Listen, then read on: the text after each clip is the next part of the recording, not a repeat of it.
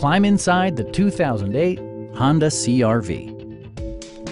It features an automatic transmission, front-wheel drive, and a 2.4-liter four-cylinder engine. Top features include power windows, a rear window wiper, remote keyless entry, and air conditioning.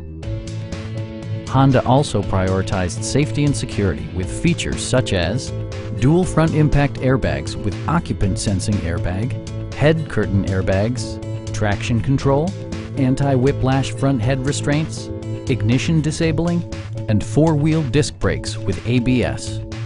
Brake Assist technology provides extra pressure when applying the brakes. Our team is professional and we offer a no-pressure environment. Stop in and take a test drive.